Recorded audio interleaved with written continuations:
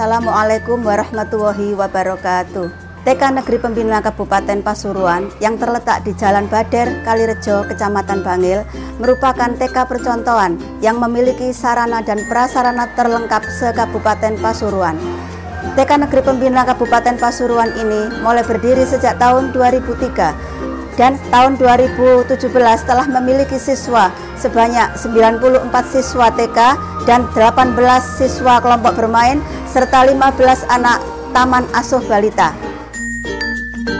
Memiliki 6 rombel untuk TK dan satu rombel untuk kelompok bermain serta satu ruangan untuk taman asuh balita. TK Negeri Pembina Kabupaten Pasuruan memiliki prestasi mulai dari prestasi kecamatan, kabupaten, bahkan tingkat provinsi.